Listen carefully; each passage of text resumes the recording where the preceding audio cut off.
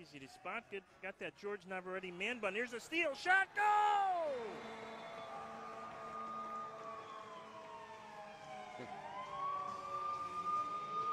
Well, Brian, I don't think they come. Again, challenge up front. Now the Tropics have some numbers, perhaps. Here's a long ball down to Carvalho. Carvalho shot. Go!